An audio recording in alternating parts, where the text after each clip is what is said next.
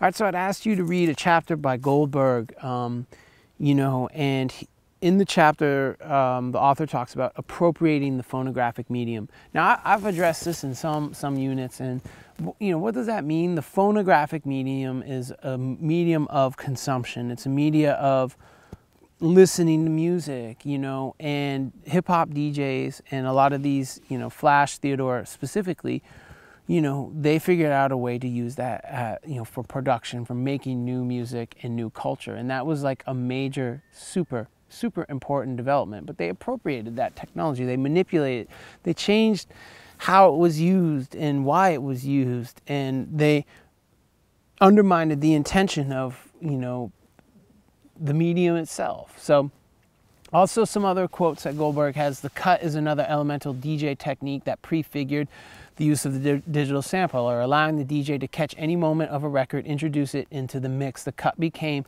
the foundation of all future turntable manipulation. So basically saying, you know, like the cut, you know, taking 10 seconds or 20 seconds of a, of a record and rearranging it in a new way with the same copy of that record or a different drum break or a different record, you know, um, became the, the base ideology for all sample-based production that um, came after it. Um, so literally, you know, digital sampling is the literal automation of the DJ's production approaches. That's why I always say, you know, beat making is an extension of DJing because you're listening, especially sample based, sample based, because you're listening for moments on records. You're then cutting them from those records you're then chopping them, you know, and then you're reintroducing them in a new, uh, a new arrangement, you know. Um, but that's super important, you know. Uh, and, and, you know, many of the best producers, in my opinion, uh, many of the best beat makers, right, were DJs first. Pete Rock, uh, Diamond D, Lord Finesse, you know, uh, uh, uh large professor, all these people, you know, that are foundational, um, you, you know, beat makers, they have a DJing background. That meant they, they knew the music, they knew the beats, you know, they knew what was on records, they knew what they could take and they could flip into sampling, you know, um, you know, so they had the archive of the records and, and it's just really scratching and cutting, you know, an extension, an arm of that um, is is, is sample-based beat making. Another really important song in the history of DJ music is Rockit. Uh, this this is you know uh, you know Herbie Hancock uh, put this put the song out on a record called um, Future Shock. Came out in 1983, and this is a this is major. You know Her Herbie Hancock. You know for being an incredible talent in jazz. You know he never he didn't just say stuck. You know in a particular moment. He always was evolving. He was not like snobby about it. You know, he did, you know, cool jazz. He did fusion. He he he, he did some modal stuff, you know, whatever.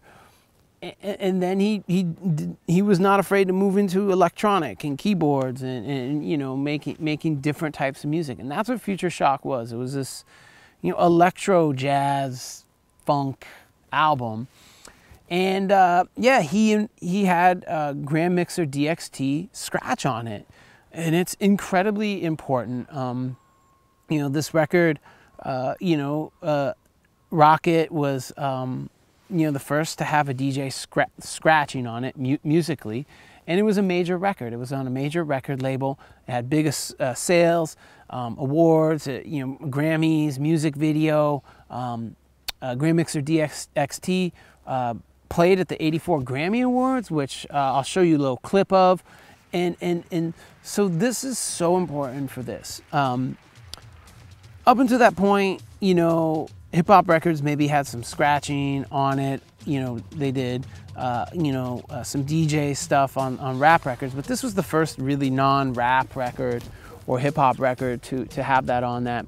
And it became so important, specifically the 84 Grammy thing, uh, performance because before that, you could just, you know, hip hop heads, people who listen to rap records, they could just hear, they could just hear the scratching. They didn't really know what it was. Here you get to see DXT um, cut up, you know, the fresh sample. Um, which is a classic DJ uh, sample, the Fresh and Ah, which actually comes from uh, the B-side of Change That Beat. Uh, there's a link to it in the slides if you want to check it out. But all these super important DJs that came out of, you know, um, different areas of the country, specifically the Bay Area, Los Angeles, outside of the tri-state area. This is the first time where they get to see a DJ cutting, scratching, you know, and it was musical as fuck, you know, and it influenced all of these DJs who went on to be like, you know, kings and queens of, of scratching, you know, um, a lot of Filipino DJs uh, in the Bay Area. Um, and we'll talk about that uh, a few units down, down the road. So this performance allowed them to visualize what scratching was, you know, um, whereas before they had just heard it. Okay, so it's just super, super duper important.